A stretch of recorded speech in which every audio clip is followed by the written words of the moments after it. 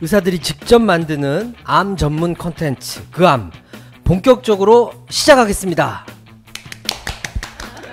예, 오늘 첫 시간인데요. 그 우리 어쨌든 어, 암에 관련된 다양한 정보를 나눠보는 시간을 이제 마련했고 우리가 함께할 선생님들 어, 소개시켜드리겠습니다. 어, 이대 목동병원의 혈액종양내과 이경은 교수님 네, 나오셨습니다. 안녕하십니까. 안녕하세요. 자기는 아직 안 됐어. 아주대 혈액종양내과 아, 이현우 교수님 네, 나오셨습니다. 안녕하세요. 이현우입니다. 네, 동국대 일산병원 어, 종양내과 김다룡 교수님 나오셨습니다. 안녕하세요. 김달영입니다. 예, 저 사회를 보게 된 저는 순천향 천안병원 혈액종양내과 이상철입니다.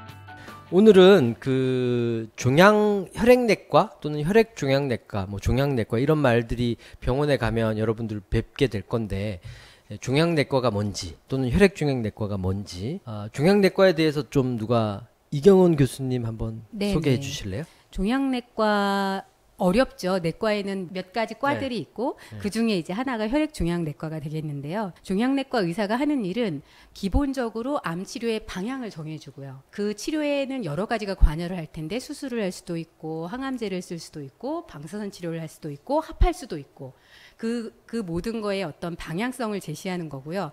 그 자세한 일정에 대해서는 항암제를 전문적으로 다루는 사람들이 종양내과 의사라고 이해하시면 되겠습니다. 네, 암 치료 방법이 다양하게 요즘에는 이 요구되잖아요. 그러니까 다양한 방식을 논의하고 네. 그거의 방향성을 결정하고 어, 실제로 약물 치료를 주도하는 그렇죠. 그런 파트가 혈액종양내과다. 네, 맞습니다. 알겠습니다.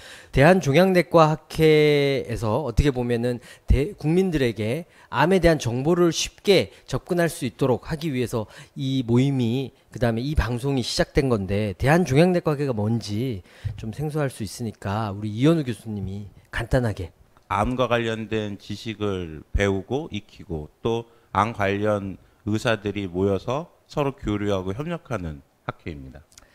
예, 어쨌든 종양내과 의사들이 에, 어, 이 암에 대한 주도적인 역할을 하고 있기 때문에 그 사람들이 모여서 어, 실제로 암 치료에 대한 발전을 위해서 노력하고 있는 학술 단체라고 생각하시면 될 것 같고 실제로는 어, 정부와 관련된 정책 관련돼서도 상당한 자문 역할을 하는 그런 학회가 아마 대한종양내과 학회가 아닌가 싶습니다. 아마도 여러분들이 이 암에 대한 정보를 가장 신뢰성 있는 정보를 앞으로 접하게 될 제공하게 될 단체가 아닌가 그런 생각이 듭니다.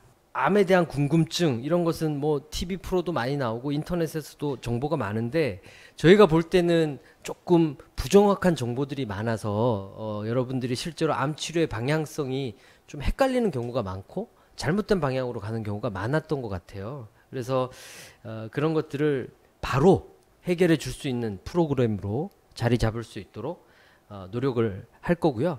어, 그 암을 알고 싶으면 바로 이곳으로 연락을 주시면 좋을 것 같습니다. 어떻게 연락하나요? 그거 차차 알려드릴게요.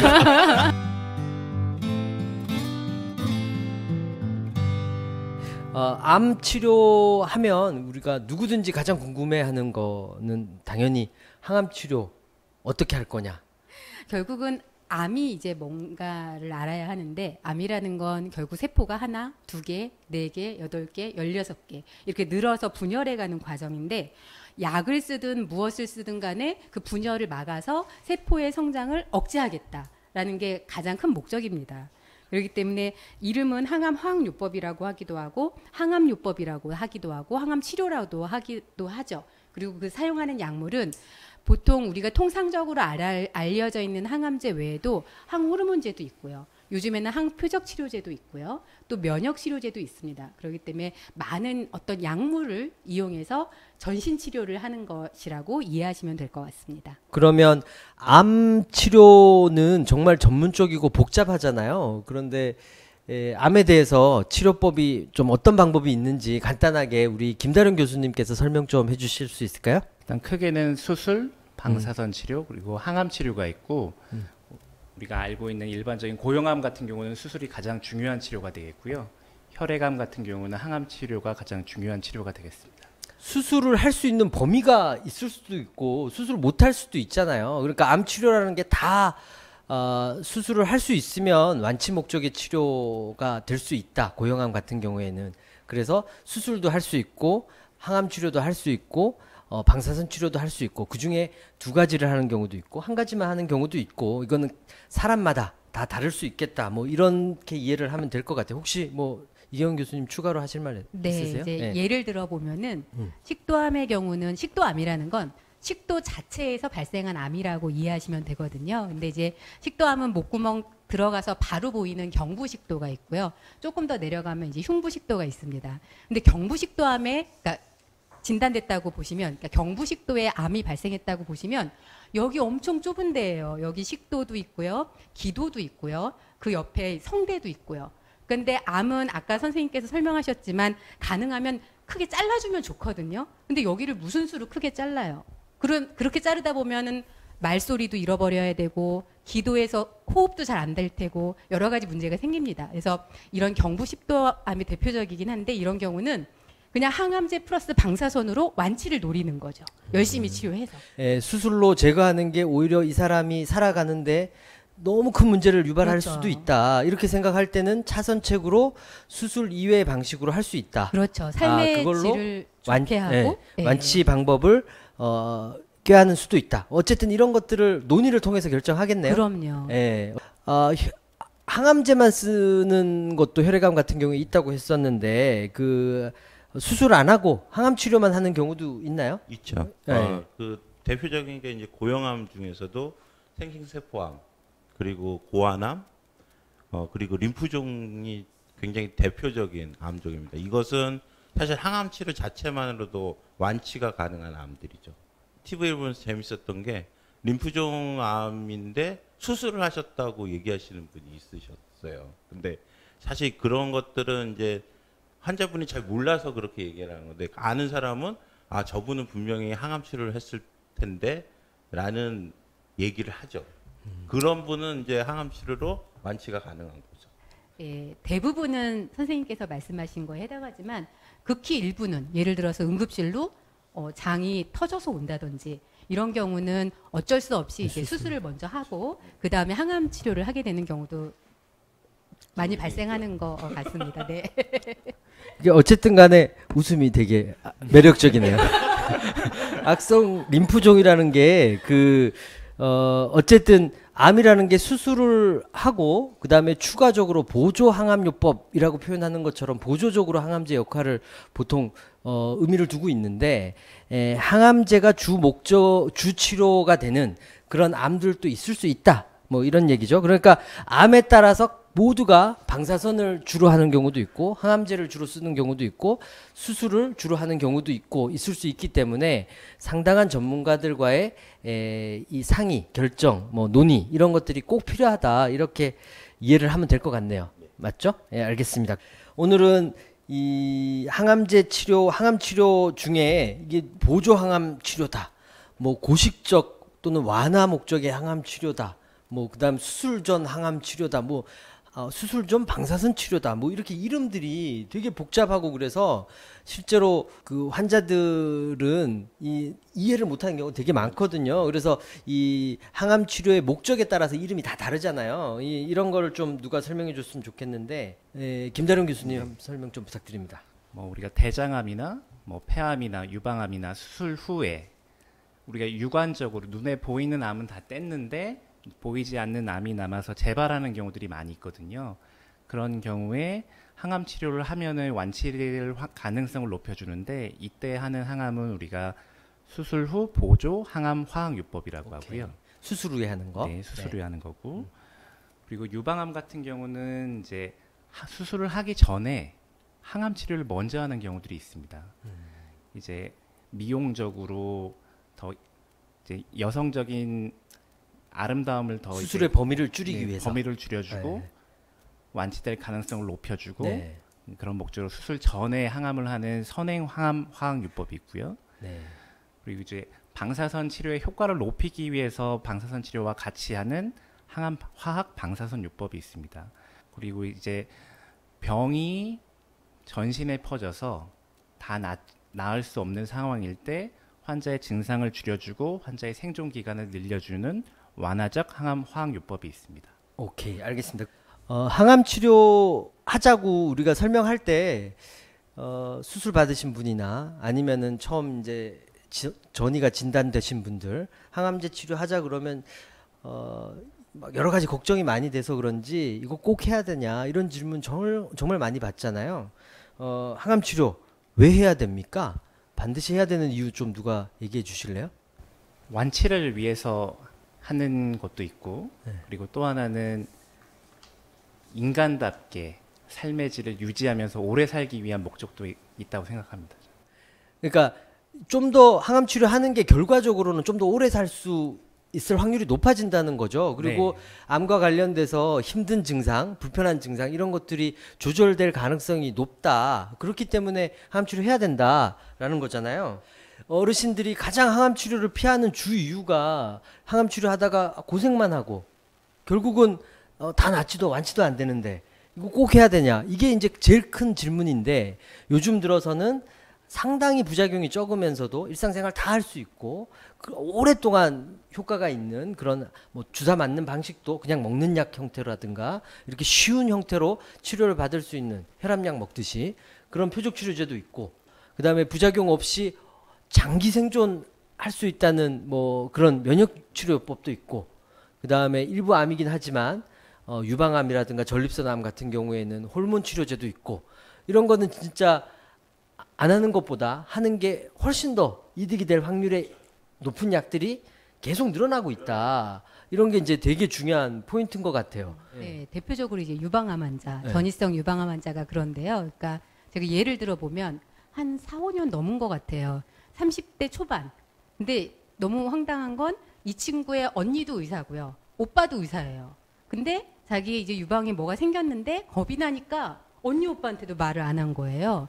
그리고 나서 이게 묵혀서 한 2년, 3년 되니까 이제 막 뼈에까지 이렇게 다 들어가 있어서 제가 뭐 정확히 기억이 나진 않지만 또 어떤 암의 볼륨을 정량화를 정확히 할 수는 없지만 그냥 잡아도 아, 저 사람 뼈의 50% 이상은 암으로 꽉꽉 들어찼구나라는 느낌이 들 정도의 상황이었거든요. 그래서 진료실에 못, 혼자서 못 걸어왔어요. 이렇게 그냥 옆에서 부축해가지고 이렇게 왔는데 지금은 그때가 유치원 애기였거든요. 자녀가 지금은 학원 딜리버리 다녀요. 그러니까는 이미 학원 태우 애, 애들 애들 태워다 주고 이제 이렇게 다 하는 아, 거예요. 옛날에 자기가 부축받다가 네, 어, 그래서 많이 치료 잘했다고 지금 자랑하시는 그렇죠. 그러다 고생 많으셨습니다. 그러니까 요는 네. 이제 가끔 물으시는 게 치료가 됩니까라고 물어요. 물으세요. 네. 그러면 사실 저는 냉정하게 완치는 안 됩니다.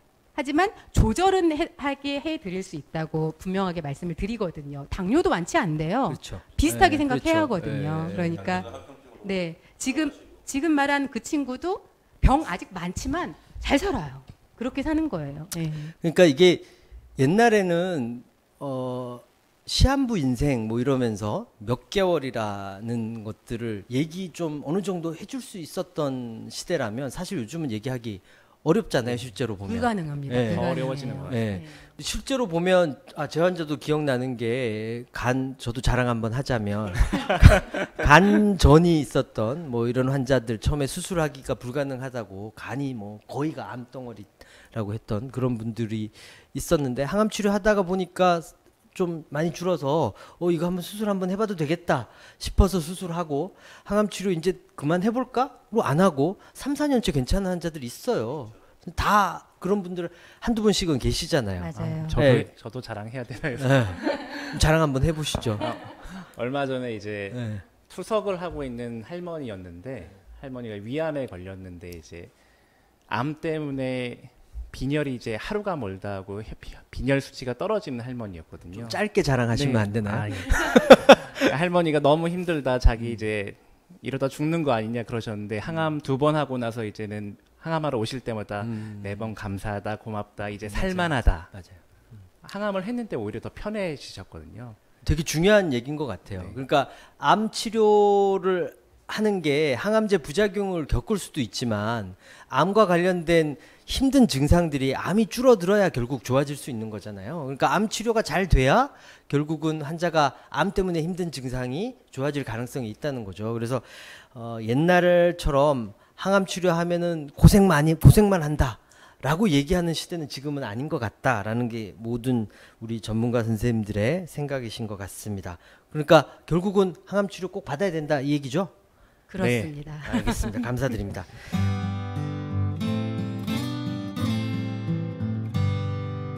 암 환자 어, 괜히 고생시키더라도 그래도 한 번이라도 항암 치료 더 해야 너네한테 이득이니까 하는 거 아니냐 이렇게 말씀하시는 분이 있는데 에, 하는 어떤 유, 기준이라는 게 있지 않나요? 그 기준에 대해서 누가 좀 얘기해 주실래요? 예. 그러니까 뭐 어떤 기준이라기보다는 이제 지금 말씀하신 대로 어 이걸 왜 하느냐 그거는 사실 너무 많습니다. 이 암의 목적, 이 암의 종류, 이 암에 어떤 약을 쓸 건지 이런 거에 따라 많이 다르고요. 트렌드는 지금 원칙은 트렌드라기보다는 원칙은 이 사람이 제주도에 있든 울릉도에 있든 서울에 있든 그 질병에 가장 효과가 좋은 약을 유니폼하게 다시 말하면 일- 어떤 이렇게 규- 어, 규격화 말이 좀 이상하긴 하지만 정형화된 표준 치료를 받을 수 있도록 하는 게 저희의 에, 기본 원칙입니다. 그럼 그 표준 치료를 하는 거는 제가 오늘 기분이 좋아서 핑크색 원피스 이런 거 입는 게 그런 거랑 전혀 관계가 없고 임상 시험이나 어, 임상 실제 어떤 데이터를 바탕으로 해서 좋은 결과 임상적 결과가 나온 거를 바탕으로 이런 걸 근거 중심 의학이라고 하거든요. 그래서 근거 중심 의학을 바탕으로 해서 약물을 선정한다고 보시면 될것 그러니까 같습니다. 항암 치료 이 약을 써라. 이 암에서는 1차 요법으로는 이 약을 써라. 2차 요법으로는 이런 약을 써라라는 근거가 있다는 거죠. 그럼요. 예, 예. 그럼 그 근거가 정리가 돼 있고 그 근거가 전 세계가 공유할 수 있도록 표준요법이라는 이름으로 지금 어느 정도 진료 지침 형태로 나와 있다. 맞습니다. 라는 예. 거고 우리는 그런 진료 지침을 근거로 해서 주로 어떤 약제를 선택한다. 어, 의사 개인이 이 자기의 기분에 따라서 자기의 경험에 따라서 개인적 경험에 따라서 선택하는 게 아니라 어, 이 종양내과를 전공하시는 거의 대부분의 선생님들은 이 표준 치료 요법에 대한 전문성을 공유하고 있고 그 이 그 근거를 바탕으로 해서 치료법을 정하기 때문에 에, 되게 유사한 치료를 전 세계적으로 함께 한다 이렇게 이해를 하면 될 것 같죠? 네. 예, 뭐 여기서 하나 미국에서 가서 하나 거의 비슷한 치료를 받게 될 가능성이 높습니다. 현재 실점에선. 예, 특히 이제 우리나라는 아주 최신의 치료를 비교적 어, 이 적은 비용으로 치료를 받을 수 있는 전 세계 몇 안 되는 나라 중에 하나고 그런 진료 지침을 계속 수정하고 바꿔가는 어, 역할을 하는 게 종양내과학회 선생님들이 아마 주로 중요한 어, 중요한 역할을 하고 있죠. 예. 네. 예, 암 환자분들이 암 치료할 때 제일 걱정스러운 거는 이제 구체적으로 부작용이잖아요. 그래서 어, 요즘 부작용 옛날보다 확실히 줄긴 줄었잖아요. 부작용에 대해서는 또 어떻게 생각하시는지 뭐 교수님들 경험들 한번 좀 얘기 좀 해주세요. 항암제가 무조건 편할 수는 없잖아요. 항암제는 바- 네. 항암제는 바카스가 아니거든요. 항상 저는 명쾌하게 말씀드리거든요. 막연히 겁내지는 마라. 하지만 합병증과 부작용이 있을 수 있다는 걸 충분히 이해하고 하자라고 이제 설명을 드리고요. 계속 말씀하셨듯이 이제 약물이 좋아지니까 예를 들면 어, 위암 전이성 위암 환자였는데 이제 약물 치료를 하는데 그분이 택배 기사셨어요. 그리고 그분은 막 간전이도 있고 복막전이도 있고 사실 매, 마, 매우 힘든 상황이었는데 하루에 평균 택배를 400개를 하신대요. 근데 항암 치료를 하면서 직장을 그만두지 않으시고 200개 정도 하신대요. 그 정도면 정말 훌륭한 독성 극복이라고 생각을 하거든요. 어, 저는. 그, 그건 그 사람이 훌륭하신 분. 나 그럼 제 어쨌든 주위에 간에, 훌륭한 예, 사람이 좀 예. 많으셔서 그러니까 무턱대고 부작용을 참고 항암 치료를 권하는 그런 종양내과 의사는 지금은 없다라고 이해하셔도 될 것 같고 어, 부작용이 문제가 되면 어, 방법 약을 바꾸든 방법을 바꾸든 뭐 용량을 줄이든 아니면 예방하는 약을 주든 어떻게든 어, 강구 방법을 강구할 수 있다라고 생각하시고 전문가랑 상의하시면 좋겠다.